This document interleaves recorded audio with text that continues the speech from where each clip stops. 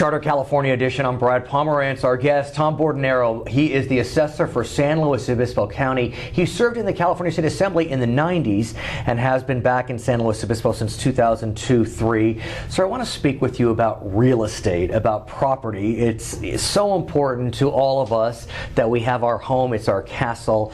But our castles have been under assault a bit as a result of declining property values. I'm going to back up though and talk about Prop 13. What did Prop 13 do as it relates to property taxes? Sure. Prop 13 uh, during the late 70s was a result of a real estate market that really was just booming Right. in a major way, and people saw their taxes increasing, uh, doubling sometimes, uh, just the way that assessments were done, Right. where they were done every four years. So in four years, if you had a 20% growth a year in your value, your property tax bill would go up by 80%. And people were being forced to move out of their homes. Absolutely, As a result senior of, citizens, senior Right. citizens, and, and those on fixed income were having a very difficult time. So the legislature did not act.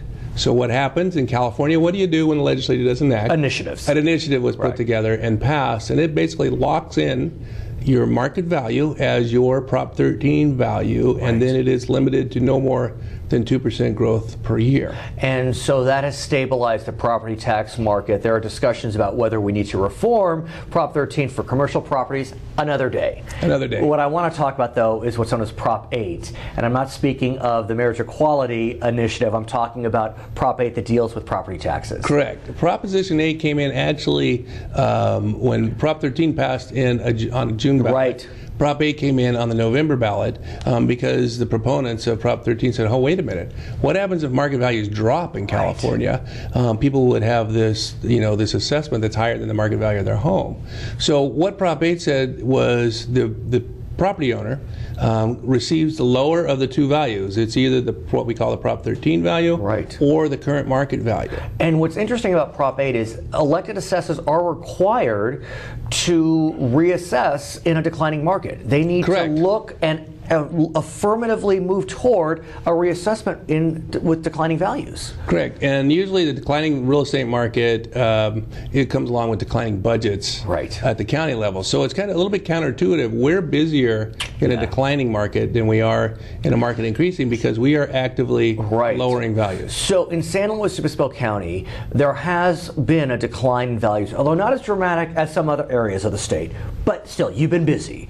And so what has happened you know, in the last two or three years? We'll get to the purported recovery in a moment. But what's Sure. happened? Uh, since 06, when the market peaked, we have been we have been proactively looking at at values, um, mainly homes, which is the, the largest Right. single property uh, here in, in, in San Luis Obispo County. And we've actually lowered, oh, since 06, about $4.5 billion uh, in assessed value countywide, proactively prior to, before people come either file an appeal or appeal or ask for a review. And that's about 56,000 items that we look at every year that we don't look at when we're under a, an increasing uh, or like a Prop 13 So market. your office affirmatively sought out those properties. Absolutely. What if a homeowner wants the assessor's office to reassess without receiving a notice that Oh, sure, and we get those because we put it. We have a, a mass appraisal system that will identify those that might need. I see. Might need lowering, but it's only for uh, homes on 10 acres or less, single-family residences. So if there's ag property, commercial property, residences on more than 10 acres, which we have a lot of. Of course. Uh, you know, industrial properties or multi. Uh, you know, multi-family dwellings, whether they be duplexes, triplexes, or even a second residence. Right. We kind of rely on people letting us know When we come back, I want to talk about what happens in an improving market. We're speaking with Tom Bordonaro. For our viewers on HLN, we thank you for joining us. For our other viewers, we'll be right back. So, Mr. Bordonaro, it's clear that in many parts of the state, including the Central Coast, we are seeing a rebounding of the housing market. Correct. And so, what happens under Prop 8 in that situation? Under the decline in value of Prop 8 scenario, we are looking at every property that was placed on this decline to value every year Right. January 1st. So we have to look at those, and then when the market starts to rebound, which we're seeing, we need to raise those back up to where they would have been if we never had a decline in value. And in those cases, it's not limited to the 2%. We're required to re- put the market value in. So if your market value goes up 20% a year, you could see your tax bill go up 20% in one year until it reaches the Prop 13 number again. Not the value what it beyond what you bought it for. So it will top out at what you bought it for. Is that correct? It is always a ceiling as to what you purchased it for plus the indexing. We actually have to track both. Right. So it would definitely it would be more than what you bought it for, but it would be that 2% a year or whatever that indexing was. But that's tricky. I mean, if you live in communities, for example, in the Inland Empire or in the Stockton area, let's say, I mean, we saw those communities really take a hit in terms of real estate values. And so, could they have seen 20% drops Oh, in their property taxes? Absolutely. Some of those In people one have year? se- have- some of those people have seen even more than that 30, 40, 50% drop over a couple years, maybe. Right. But yeah, absolutely. 20% a year is not uncommon. And then, could it spike right back up? It could spike in right one back year? up if the market comes roaring back. It all it's it's market driven. Right. Um, if it's a slow market, Right. Um, you know, then those taxes would creep back so up. So what are we seeing? Are values roaring back, or is it more slow, and so those increases back to Prop 13 levels will be a little less painful? I would say it's a little bit less painful than it could be because the market is recovering, but at a relatively slower pace than what we've seen in the past. But here's what's tricky is many of these folks who did see declining home values also had to go through workouts with their lenders. Correct. And so they finally got the mortgage issue resolved and now they're saying the property tax issue hover above them. Is there any relief in that situation or the law is the law and that's where we're at? It's the law is pretty much the law. There is uh, a little bit of silver lining though. Most lenders, if you have an impound account where you're making your your tax payment, they may have already adjusted for that. Um, and in, In anticipation? in anticipation. Interesting. Do you work with lenders on that front? Because that could be the easier fix. It won't be as painful because maybe it's being withdrawn every month pursuant to impound, or they've already worked it out. Or is that just not Right. your or, purview? Or it's not our purview. Okay. Uh, but, or they have actually kind of taken those savings and may have actually uh, stockpiled most of it, mo- much of it in an accounting mechanism so that when they may not have actually felt the drop. Right. Um, but then again, they won't feel the, the increase. But uh, do lenders, I mean, it would seem to me that lenders know this is coming. And so, can they work with, or do you know if they work with these borrowers through the workout process that, look, your property taxes are going to increase soon, so we need to get a handle on this? Well, you know, I, I don't really have the answer to that question. I just don't know. But I don't think so because most people are really, uh, they're extremely surprised when their Right. taxes increase, um, which is why I'm grateful that we're here on Charter to get the message Well, thank out you for that, yes. Mm-hmm. That, tho- that, that they could go over that 2% uh, and to start being prepared for it as the market rebounds because we're required to place the market value under the law and that we don't really have much of a choice. Are there appeal processes? Absolutely. So, how does that work? Uh, we have an internal review process. They can call our office and get a review form. Mm-hmm. Uh, they'll receive notice in July as to what their value is going to be.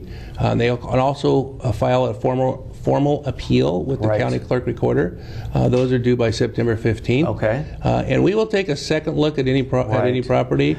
Um, and we'll sometimes take a third look because Right. there's just we have limited staff, a lot of these assessments to do, uh, and nobody's perfect. So you know, if anyone has any questions, they they need to do that. They need to be proactive. Will you work with homeowners if they need some type of payment plan in light of this spike in property taxes? That's up to the tax collector. Ah, Uh, that's, you that's a different office. And I hate to say that because it sounds It's like fair. you know off me on you, In this but county, it's, Yeah. it's a divided office. the assessor is about value, and then the tax collector. Uh, there, I don't even know what the laws are as Fair far as enough. collection. Okay, he's Tom Bordonaro. All right. He is the assessor for San Luis Obispo County. I'm Brad Pomerance. We'll be right back on California Edition. In 2012, what percentage of Americans associated homeownership with the American dream? 50%, 60%, 70%, or 80%? In a 2012 study by the Woodrow Wilson Center, 80% of Americans associated owning a home with the American dream. Welcome back to Charter California Edition. My name is Brad Pomerance. We are joined by Debbie Arnold. She's a member of the Board of Supervisors in San Luis Obispo County. And sadly, the county suffered a tremendous loss recently. One of San Luis's supervisors passed away suddenly. It's a board of five people. Its chairman passed away suddenly from a heart attack, we believe. His name, Paul Teixeira. He had been on the board since 2010. And what a gentle giant that man was. I, I just, I was just devastated when I heard the news. I saw the press conference you were at. How are you feeling? I can only imagine. It was it was shocking news, shocking news, and uh, Paul. The way we're the way we're set up on our fourth floor, Paul's my next door neighbor, mm-hmm. and Paul was just a howdy neighbor kind of a guy. Right. And of course, you know we'd gotten to be good friends working together these last six months, but we had just uh, hosted an event, the Latino Outreach Council. Literally, literally, literally, you left him. You walked out the door with him at 8:30 in the evening, yeah, approximately. Approximately. He was pronounced dead before midnight. And ironically, uh, Paul was the chairman of the Latino right. Outreach Council. We were holding a panel discussion on the Affordable Health Care Act. And we were in a room surrounded by doctors and medical professionals just a couple of hours before that and parted and went home and, and I picked up right. the call, the message the next morning. And, and what everyone has said about Paul and was saying about Paul before his passing is that despite his large stature, because he was an imposing presence, he had a real calming way. There had been a lot of contention at various board meetings recently, and he was able to just create a kind of zen feeling in the room after a lot of contention. It's true, he was. And Paul, um, he had a sense of humor, right. and no matter what, when there was tension, he'd make a little joke, and everybody'd have to stop and smile. And then from there, things always got better. So yeah. he was a family man Absolutely. Five children. Five children and a wonderful wife, Deanna, very involved in 4 H and right. agricultural roots in the South County.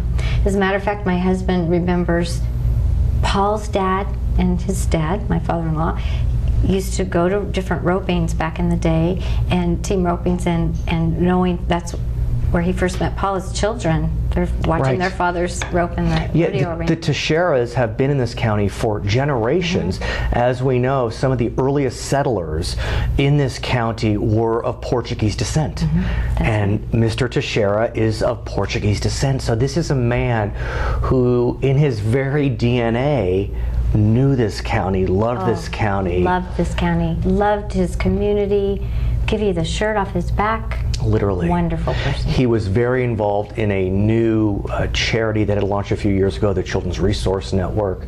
I learned recently that in the back of his car was clothes he had planned on donating. Mm-hmm. Yeah. I mean, as if he wasn't busy enough. He had been at the Economic Vitality Corporation meeting yes. before the Latino yes. Outreach mm-hmm. meeting. I mean, this is a man that, that, that lived and loved San Luis Obispo County. Absolutely. Where do you all go from here? Well, uh, it'll be, we've got a vacancy now. Right. And it's our chairman we lost. Right. And Paul was the chair of other boards as well, so right. they'll, they'll, it, it, was a, it was a huge loss. Right. It, was a huge loss to the whole county. Right. But um, there's a vacancy on the board, right. and there's there's just 18 months approximately right. left on the term, and the governor will well, be right. charged with appointing a replacement. Okay, when we come back, I want to shift gears, if I may. It's hard to shift gears, but more issues still percolating, if I may use that term. We're speaking with Debbie Arnold for our viewers on HLN. Thank you for joining us. For our other viewers, we'll be right back. Supervisor, you reside in the North County area, and we know that in that region there are a lot of issues relating to groundwater. We know of the Paso groundwater basin, which 30 years ago we thought was filled and would serve us water for centuries. But we've learned recently over the last decade that it's not an endless resource. How is North County handling this challenge? Well, it's been it's been difficult this year. The North County's been faced with two back-to-back drought years, right. and uh, the lack of rain rainfall, of course, creates problems anyway. Mm-hmm. But uh, the increased plantings over the last decade of irrigated vineyards. Um, um, that's obvious, and there's been more water usage, and it. Uh, it seems to have had an effect of depleting the groundwater basin. Right. How much is still being studied, and um, I know we all get a little impatient with studies, but in this case, there's uh, the county is doing a computer model uh, that should be finished at the end of the year, and it will tell us, uh, give us a bet, much better understanding of what's going on uh, in the groundwater basin. There's topography under there we no, can't see. No, of course. and- But and- what we do know is that both the city of Paso Robles as well as the county has been looking to other sources. There's a Nacimiento Lake, is that what it's That- called? yeah. that's correct. And I know that that's been accessed, but there's some challenges relating to that. How much can it be accessed? It's expensive to treat water that comes out of that. So where do we stand on that front? Well, the infrastructure was built, and Right. um, there are several entities in our county that will be realizing a new water source from the Nacimiento pipeline. Right. But it's interesting, Nacimiento Lake and San Antonio Lake uh, were, that was the vision of Monterey County, and that's Right. their water storage. And so San Luis Obispo County, even though the lake is in San Luis Obispo for the most part, Right. it is the, a, a big source of water for Monterey County. Right. We will be realizing some of uh, that water, and some of that, it's my understanding, can be utilized to help um, with the groundwater basin restoration. And I understand there's also some acreage that's available still. Correct, And still. so is it time for San Luis to access that acreage? And I those mean, are the decisions that'll be made, and I,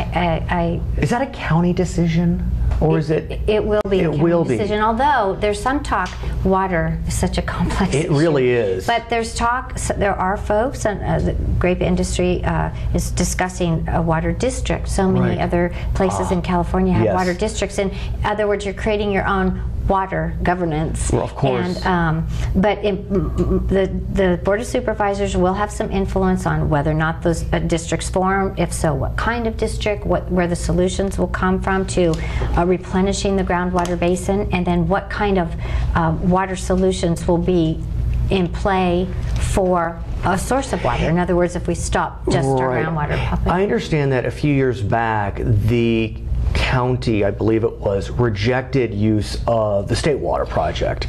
Is it time to relook at that issue? You know, it's it's in some ways a little bit late, much more Really? expensive. But when the when the state water pipeline was being laid out across the state of Right. California, that again, that was a vision that took decades to Right. really implement.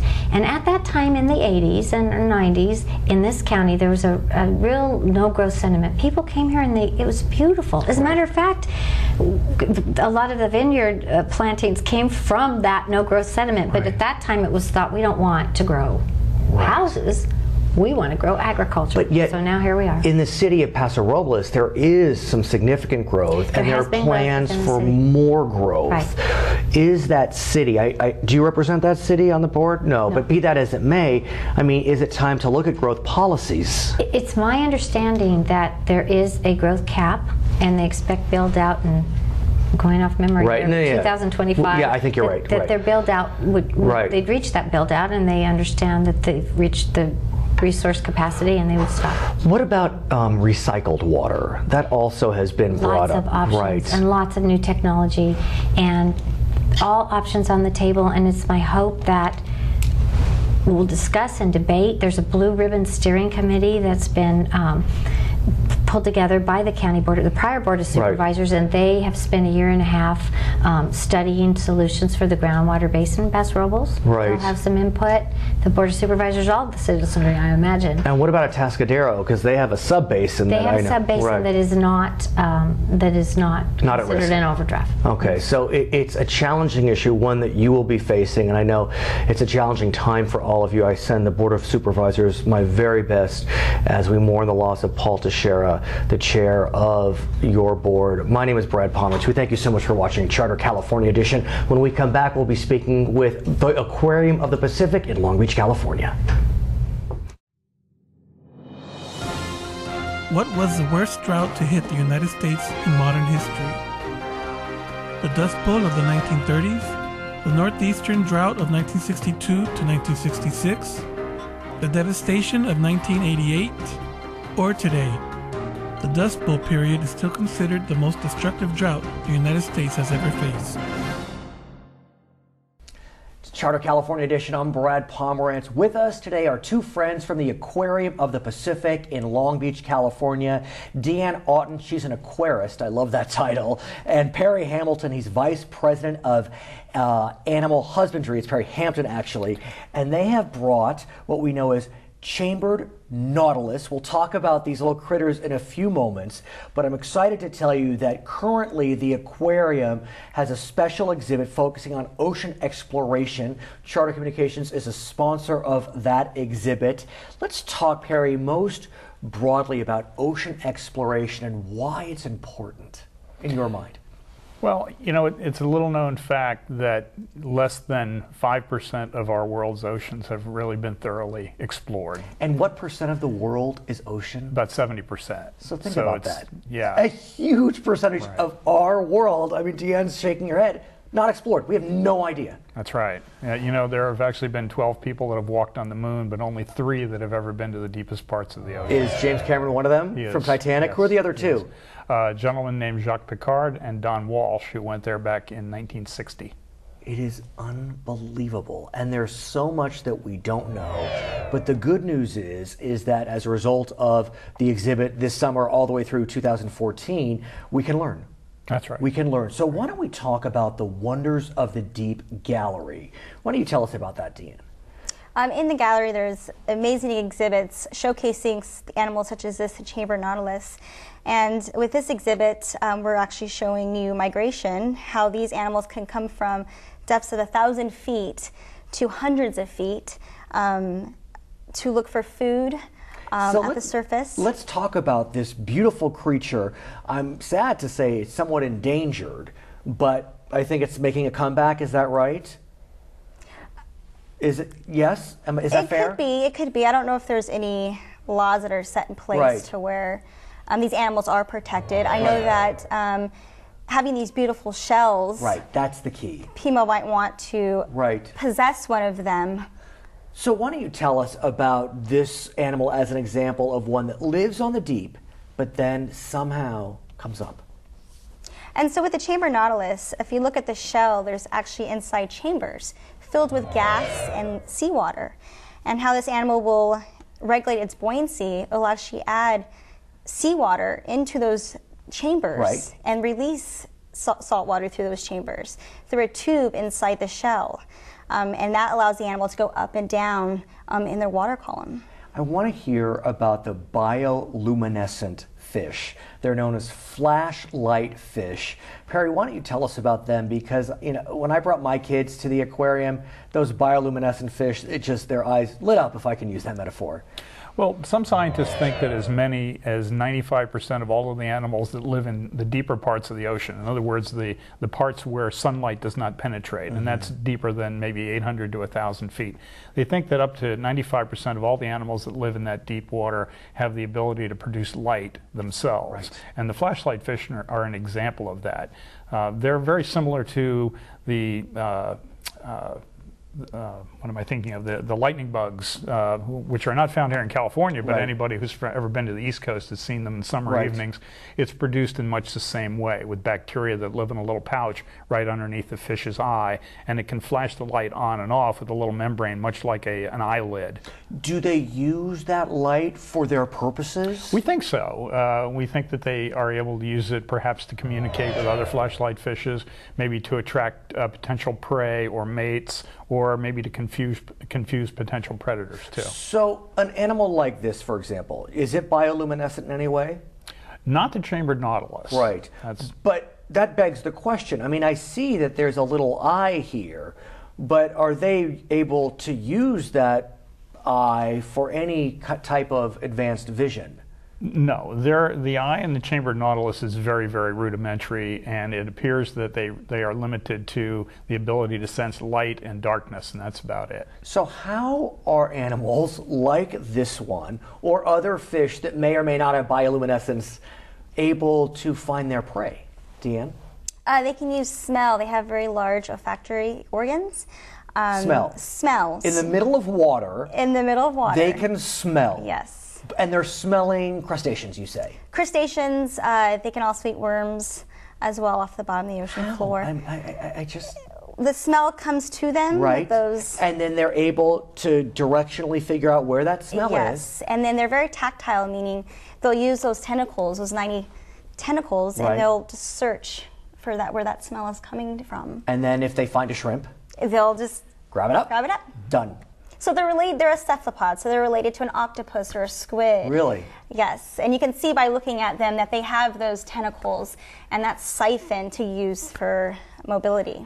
A miracle to me is that during anyone's visit to the aquarium, and if you go to the ocean exploration area, you have a live feed We do. of the ocean floor. I would have loved that when I was a kid. This is really cool, and that's one of the, the benefits of modern technology. Right. We we we have uh, links to the uh, Okeanos Explorer, which is a ship that's that's owned and operated by our own National Oceanic and Atmospheric Okay. Administration, as well as Bob Ballard's exploration vessel as well. And when the scientists put remotely operated vehicles, also known as ROVs, into the water, uh, we in the aquarium, you can stand there in the aquarium on any given day and you can look at on our ocean exploration hub and you can see the live feed from that ROV at the same time the scientists that are on the ship are seeing it. What about light? I mean, do you have a bunch of bioluminescent fish lighting Well, they have up? lights. They Just- have lights mounted simple. on the ROVs to illuminate whatever they're looking at. And so, what will you see if you're looking? What's going by? What's happening down there? You don't know. That's one of the cool things about this. You may see something that no one has ever seen before. And again, as I say, you're seeing it at the same time the scientists are. You, we also have the audio feed from the operators on the ship, and sometimes you'll hear them say, "Hey, I don't know what that is. Call the biologist in here and have him take a look at it." So I have to presume that given that we are exploring the depths of the ocean, we must be uncovering new species. I, am I wrong? Almost constantly. Constantly. eh, What is With that? with 95% of the oceans unexplored, it's it's it's almost a clean slate. I understand there's also a part of the exhibit where is it you see a whale that has perished, that has died of natural causes. What happens at that point when it drops to the ocean floor? Scavengers would feed upon it. So of course, being to the deepest part of the ocean, Right. food doesn't. is Right. might not be always present. So having this huge well, Huge. just drift fall to the bottom, um, and these animals buffet upon this this It's a cycle of life. just like a life. But how long do you know does it take for this massive carcass to be devoured? I'm sure it takes years. Um, Oh, is it that lo- it's- really? It's definitely years. There have been some Yeah. that that have been documented to take literally decades from the time the animal first hits the bottom until it's completely consumed. Because I've seen some footage where it's sped up and it looks like it's happened, you know, in five minutes. But of course, that's not the case. Um, more exciting programs as part of this. I understand you have some films, lectures, or I mean, what what else is going on as part of the series? Well, our, our lecture series is going on uh, throughout the course of the year into uh, February. 2014. Um, right, um, where you've got a, a wide range of different uh, ocean, well-known ocean explorers who are coming to talk to the public, including uh, uh, Don Walsh, who is one of the people I mentioned has been to the deepest parts of the ocean. Bob Ballard, I'm sure everybody's heard of him, as well as many, many more. Tell me about your jobs. I, I mean, you grew up and you became an aquarist and you're play with animals all day. Uh, Like, what more could you ask for? Uh, well, with me, I always loved the ocean growing up, especially off Where'd you grow Southern up? California in San Pedro. okay, perfect. And so I'd always be at the tide pools, Right. visiting all the animals in the tide pools, and of course going to the beach. Um, so I'd say my passion is for the ocean, Yeah. and my job is to take care of these animals, which is amazing. Perry? Uh, yeah, I grew up in, excuse me, on the East Coast, and I, I worked at the National Aquarium in Baltimore for a long time, and, and volunteered. Actually, started out volunteering at the New England Aquarium in Boston, uh, and sort of got bitten by the bug while I was there. Well, thank you so much for joining us. Again, the Aquarium of the Pacific in Long Beach has a special program going on dealing with deep ocean exploration. My name is Brad Pomerance. This is California Edition.